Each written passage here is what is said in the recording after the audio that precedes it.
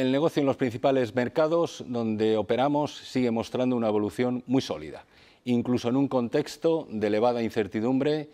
y en medio de los desafíos que seguimos afrontando, tanto a nivel económico por los efectos de la pandemia como los propios del sector asegurador, el contexto de tipos de interés. España ha vuelto a registrar un comienzo de año espectacular. Crecemos por encima del mercado en los segmentos de negocio claves para el grupo. En Estados Unidos, nuestra región core de Northeast, en torno a Massachusetts, mantiene un muy buen resultado de suscripción en, ambas ambos eh, líneas, tanto en, en hogar como en automóviles. En Latinoamérica, a pesar de los estragos que está causando la pandemia, tenemos los 17 países en beneficios y con una positiva aportación al resultado. Mafre tras un 2020-2020 muy afectado por catástrofes naturales, yo diría los últimos tres años, y los impactos del COVID,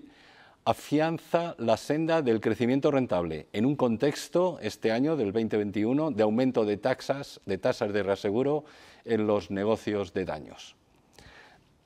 En resumidas cuentas, el grupo está enfocado en su modelo de negocio,